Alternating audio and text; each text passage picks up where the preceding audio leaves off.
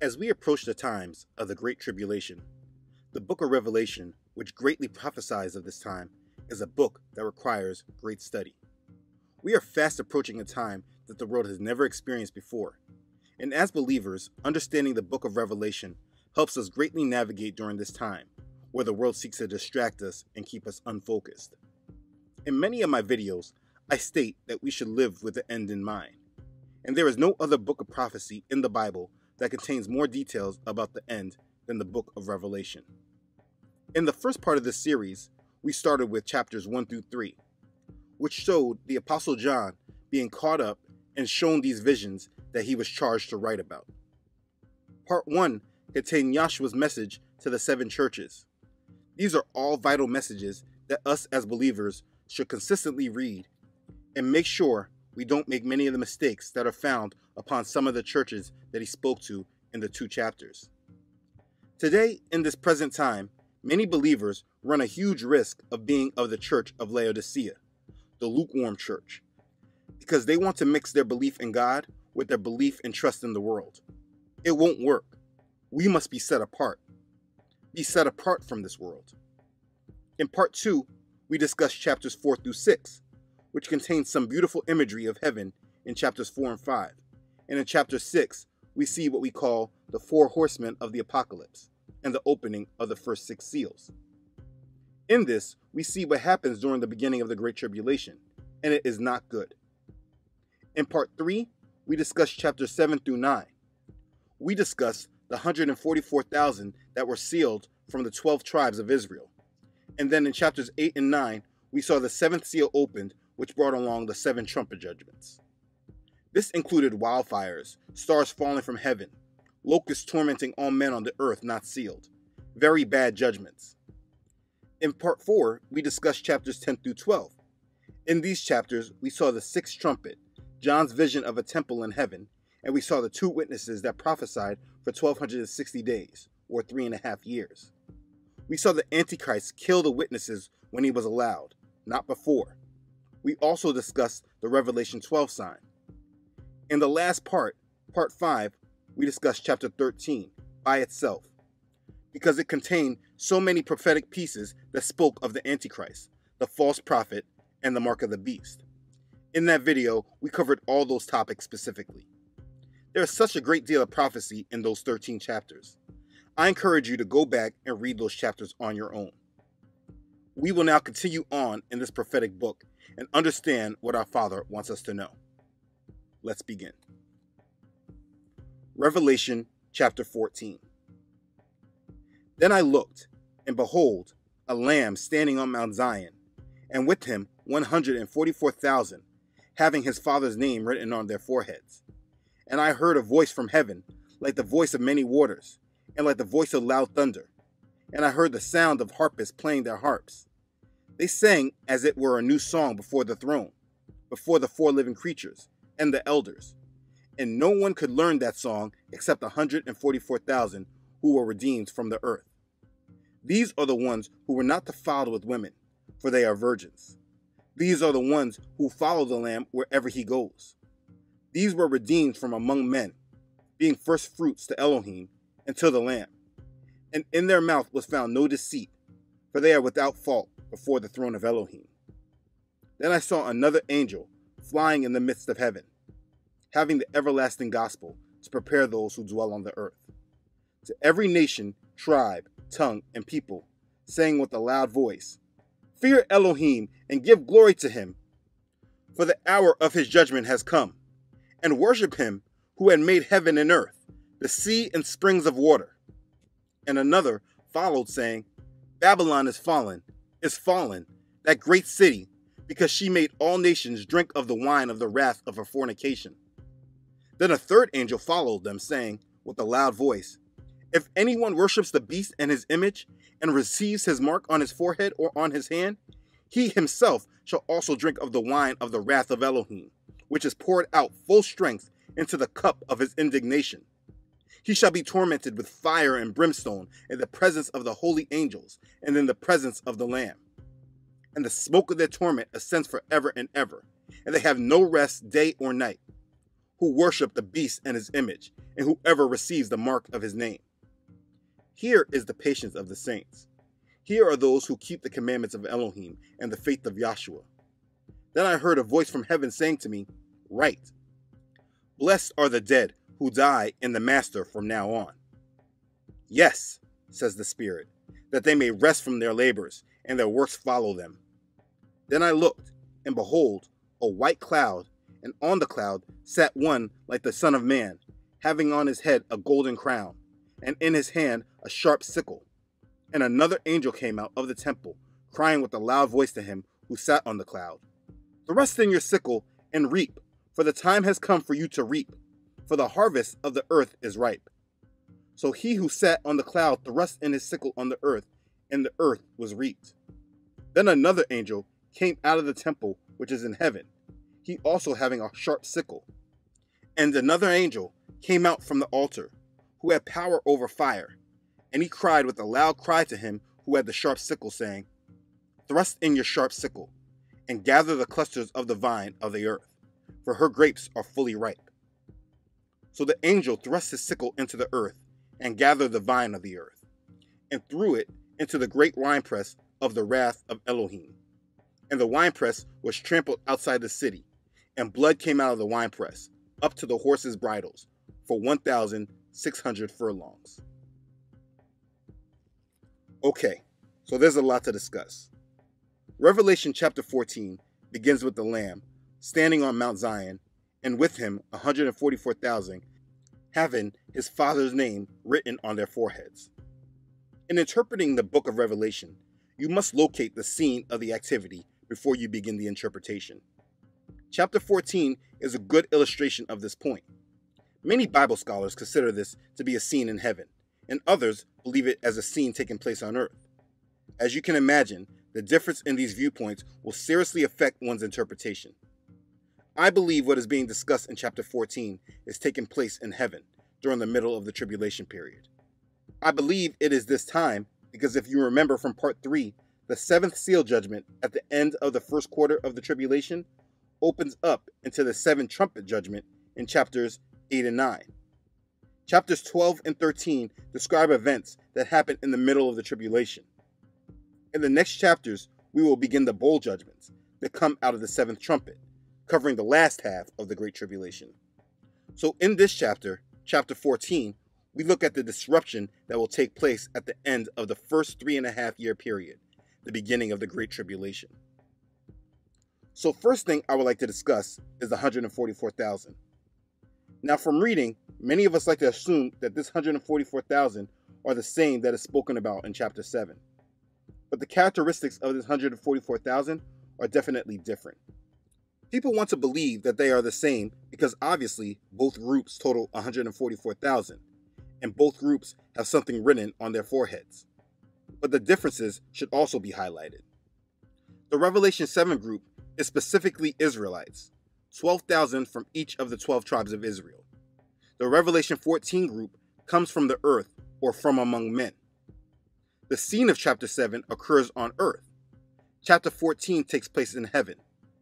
The additional qualifications for being a member of this group in chapter 14, as seen in verses 4 and 5, are not recorded in chapter 7 and the 144,000 of chapter 7 are servants of our Elohim.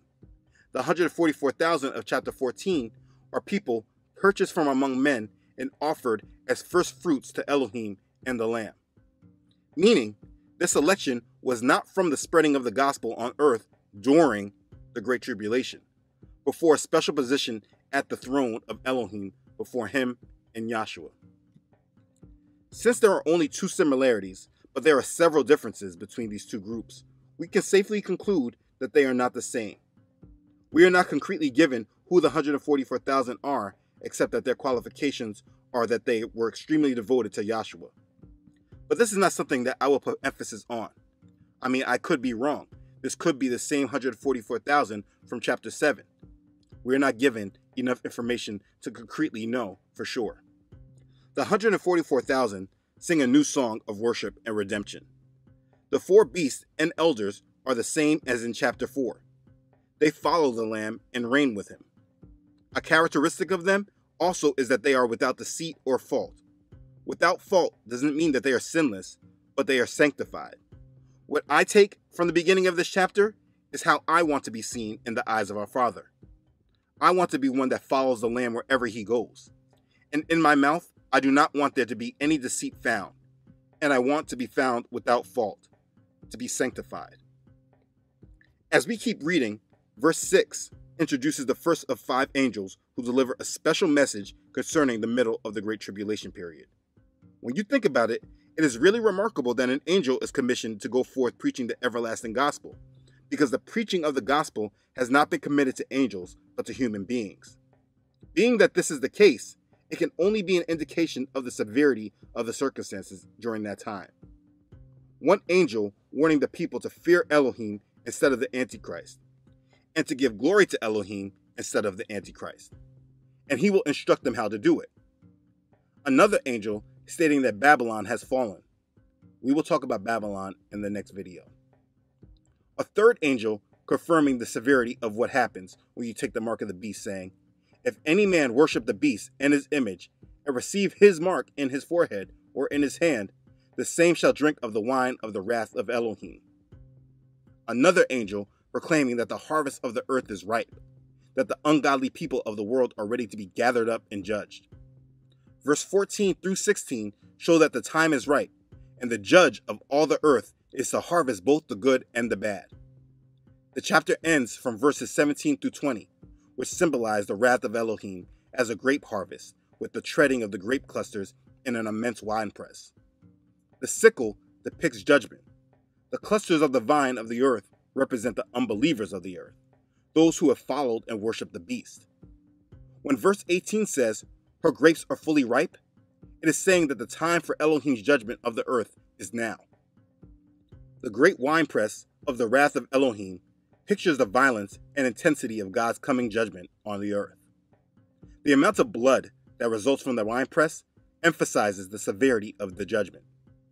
A thousand and six hundred furlongs are 200 miles. Judgment is upon all men and women who disregarded the Son of Elohim and chose to follow after the beast. Our Father is truly wonderful.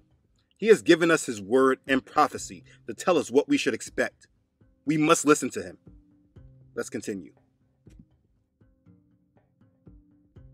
Revelation chapter 15. Then I saw another sign in heaven, great and marvelous seven angels having the seven last plagues, for in them the wrath of Elohim is complete.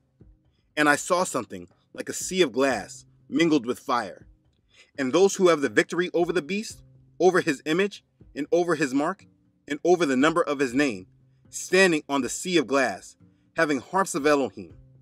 They sing the song of Moses, the servant of Elohim, and the song of the Lamb, saying, Great and marvelous are your works, Yahweh El Shaddai. Just and true are your ways, O King of the saints. Who shall not fear you, O Yahweh, and glorify your name? For you alone are holy. For all nations shall come and worship before you, for your judgments have been manifested.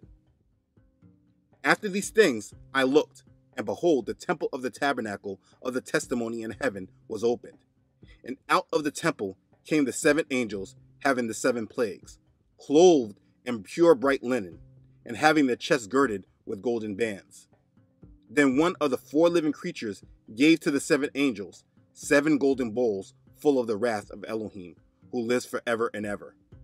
The temple was filled with smoke from the glory of Elohim and from his power, and no one was able to enter the temple till the seven plagues of the seven angels were completed. Revelation chapter 16. Then I heard a loud voice from the temple saying to the seven angels, Go and pour out the bowls of the wrath of Elohim on the earth. So the first went and poured out his bowl upon the earth and a foul and loathsome sore came upon the men who had the mark of the beast and those who had worshipped his image. Then the second angel poured out his bowl on the sea, and it became blood as of a dead man, and every living creature in the sea died.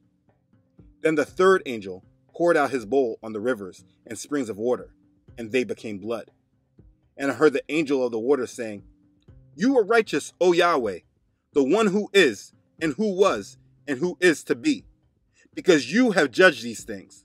For they have shed the blood of saints and prophets, and you have given them blood to drink, for it is their just due. And I heard another from the altar saying, Even so, Yahweh El Shaddai, true and righteous are your judgments. Then the fourth angel poured out his bowl on the sun, and power was given to him to scorch men with fire. And men were scorched with the great heat, and they blasphemed the name of Elohim, who has power over these plagues. And they did not repent and give him glory. Then the fifth angel poured out his bowl on the throne of the beast, and his kingdom became full of darkness. And they gnawed their tongues because of the pain. They blasphemed the Elohim of heaven because of their pains and their sores, and did not repent of their deeds. Then the sixth angel poured out his bowl on the great river Euphrates, and its water was dried up, so that the way of the kings from the east might be prepared.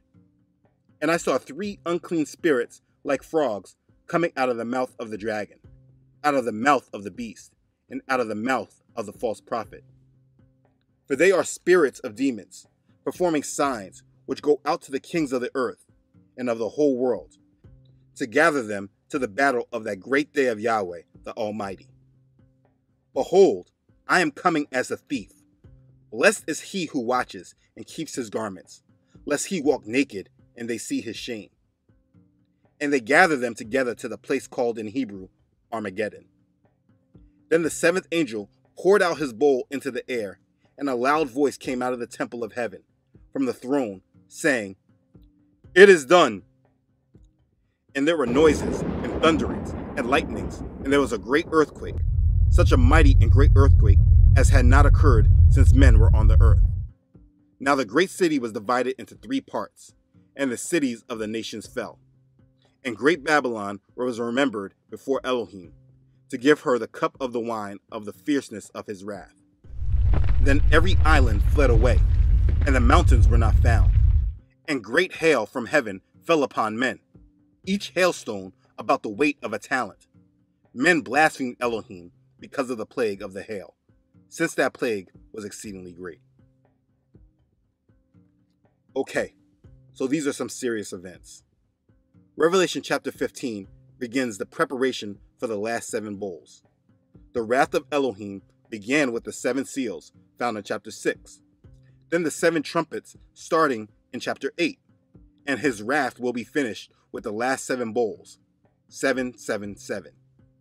Chapters 15 and 16 are an introduction to the last seven and final plagues on mankind.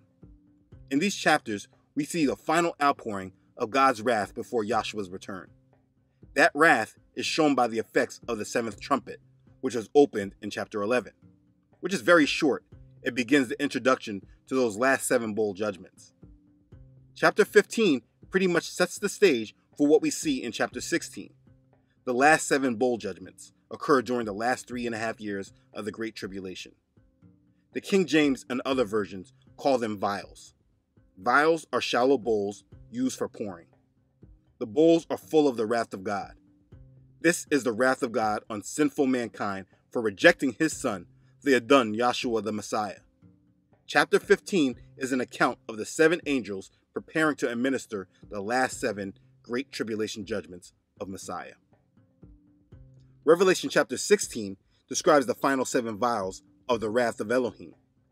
This represents the climax of God's punishment of sinners during the tribulation period. It's important to note that no repentance is invited or shown. So if you did not make the right decision, it seems like you're finished. The bowl judgments seem to affect people more directly than did the trumpet judgments. The first bowl judgment is a foul and loathsome sore. When men choose to worship the Antichrist rather than Yahshua, they are demonstrating their allegiance by accepting the mark of the beast. So after the world has accepted the mark of the beast, Elohim responds by sending on them a plague of noisome and grievous sword. John makes it clear that these awful sores afflict only those who worship the Antichrist and who have accepted the mark of the beast. No tribulation saint suffers from them. The second bowl judgment is that the sea became as the blood of a dead man. The second angel poured out his vial upon the sea, and it turns into blood like that of a dead man, and every living thing in the sea dies. We see this happen in chapter 8 with the second trumpet judgment, but it only affected a third of the living sea creatures. This judgment kills every living thing in the sea. The third bowl judgment is poured out upon the rivers. Elohim will destroy the only remaining sources of water, the rivers and fountains, or springs of the deep, by letting them turn to blood. Fresh water, already in short supply because of the prolonged drought. If you remember in chapter 11, the two witnesses turned water into blood also. The worshippers of Antichrist will have no clean water with which to wash the sores. The fourth bowl judgment scorched men with fire. Their mouths already parched from lack of water. Those who are unrepentant suffer even more intense thirst when Elohim causes the sun to scorch them in fire. The sun that normally provides light, warmth, and energy will become a deadly killer. With no fresh water to drink, the world's inhabitants will face extreme heat. The fifth bowl judgment is darkness. The Antichrist kingdom is full of darkness. This refers to either the Antichrist's actual throne or his capital city, but extends to all his dominion. Regardless of where darkness begins, it eventually covers his entire kingdom. This same phenomenon occurred in Egypt during the plagues. The whole land was consumed in darkness, so oppressive that Moses said you could actually feel it. That's the sort of thing that will come upon the kingdom of the Antichrist during this time. This divine judgment will give a physical illustration of this spiritual darkness. The sixth bowl judgment, the Euphrates dried up. The sixth bowl judgment comes in two parts. One, the drying up of the Euphrates River which will be the preparation for the battle of the great day of Elohim. And two, the tremendous demon forces that will bring the rebellious armies of the world to the valley of Megiddo for the purpose of opposing Elohim. And this is the time where we see the battle of Armageddon. The Bible says that at the end, the devil will have power enough to call down fire from heaven. His miracles will be so convincing that people will believe a lie. This is deception to the utmost. These evil spirits are so deceiving that they convince these armies to come to the Battle of Armageddon, believing they will win. This battle is actually the forces of evil coming against Elohim himself. This war has actually been going on for centuries, and this event is the culmination of it all. The seventh bowl judgment is the wrath of God. There were flashes of lightning, rumblings, peals of thunder, and a severe earthquake. No earthquake like it has ever occurred since man has been on earth. The quake was tremendous. The seventh bowl produces the destruction of Babylon, the great city. The statement, it is done, in verse 17, shows that with this vial and the return of Messiah himself, the judgments are now finished. The saddest thing is that the unbelieving mankind still blasphemes Elohim and has no opportunity for repentance. The seventh vial is the last of the seven plagues, and it completes both the seventh trumpet judgments and the seventh seal. And this is the wrath of Elohim, a time period that man has never experienced. Today, the rulers of the world are creating the narrative to explain these events through their discussions of climate change and the Sustainable Development Goals. But this is a time of great tribulation, and before we wrap it up, let's review the seven seals, seven trumpets, and seven bowls. This is the wrath of God. The first seal found in Revelation chapter 6, verses 1 and 2. The white horse, the conqueror.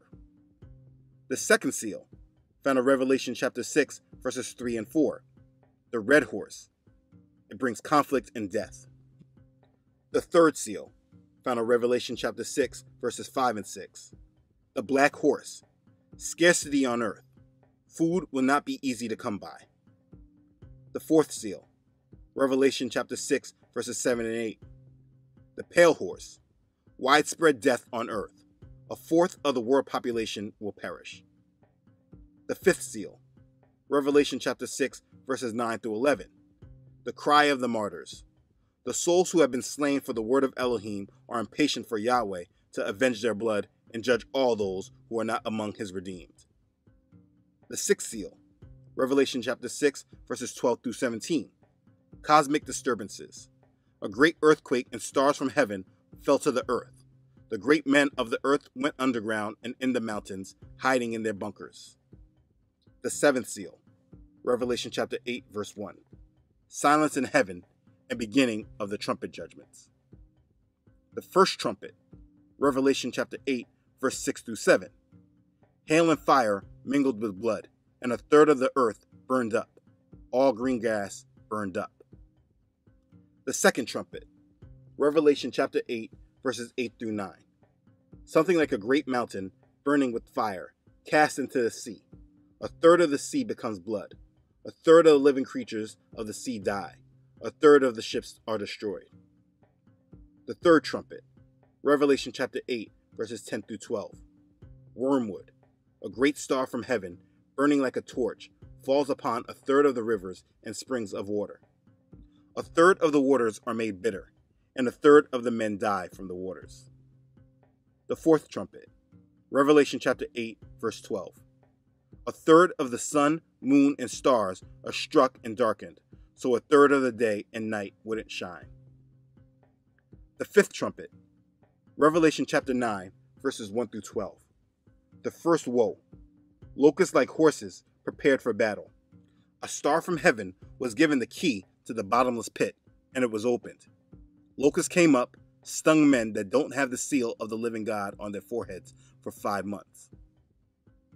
The sixth trumpet, Revelation chapter 9, verses 13 through 21. The second woe. Four angels bound at the Euphrates River are released to kill a third of mankind. The seventh trumpet, Revelation chapter 11, verses 15 through 19. The third woe. The temple of God in heaven is opened, and there are flashes of lightning, peals of thunder, and a great hailstorm. The first bowl, Revelation chapter 16, verse 2.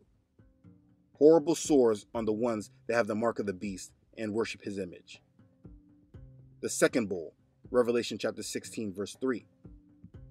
The sea became blood like that of a dead man, and every living thing in the sea died. The third bowl, Revelation chapter 16, verse 4. The rivers and the springs of water became blood. The fourth bowl, Revelation chapter 16, verses 8 through 9. The sun was given the power to scorch men with fire. The fifth bowl, Revelation chapter 16, verses 10 through 11. The Antichrist kingdom becomes darkened, and the people gnawed their tongues because of their pain. The sixth bowl, Revelation chapter 16, verses 12 through 14. The Euphrates River dries up so that the way could be prepared for the kings of the east. Unclean spirits like frogs come out of the dragon, beast, and false prophet to perform signs to gather the kings of the world for the war of the great day of God Almighty. The seventh bowl, Revelation chapter 16, verses 17 through 21. The voice out of the temple said, It is done. Lightning, thunder, a great earthquake, the city is split into three parts. Hailstone came down on men who blasphemed God. And these are the seven seals, seven trumpets, and seven bowls of wrath that make up the wrath of Elohim. I'll put this chart on my website so it's something that you can always refer back to. The link is in the description box. This is a part of the understanding you must have when you start living with the end in mind. When you have this understanding, when you see certain things in the news, when you see agendas and narratives that the global media are pushing, you will understand it a little better now. You have a better understanding of the future, and for anyone with common sense, you know you do not want to be around for any of it. The devil's wrath is something. He is an adversary that has murdered and killed, deceived, plot, and done very horrible acts in order to further his agenda of being like the Most High. But even on his best day, he cannot compare to the Most High, and it is his wrath we do not want to be affected by.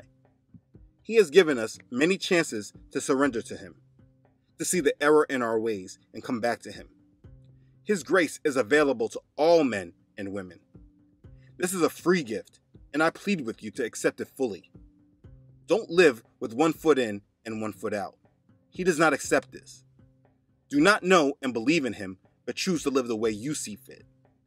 You are literally living in the time where Bible prophecy is jumping off the pages and becoming a reality. What is your decision? Who and what are you living for?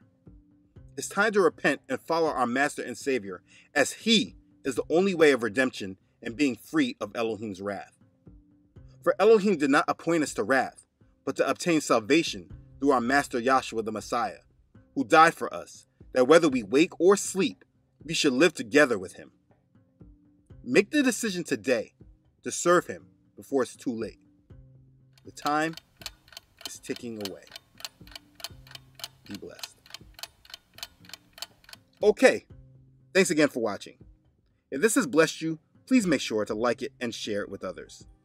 If you haven't done so already, please make sure you subscribe to this channel. Don't forget to follow this ministry on Facebook and Instagram, as well as on my website, truthunedited.com. As always, I would really like to give a special thank you to those who have donated and contributed to this ministry. Your contribution and support are a huge blessing to this ministry and give me the strength to continue. Thank you for your obedience to Yahuah's call on your heart. I am humbled by your support and I am very thankful for you. Be blessed. Okay, thanks again, everyone, for watching. I love you all.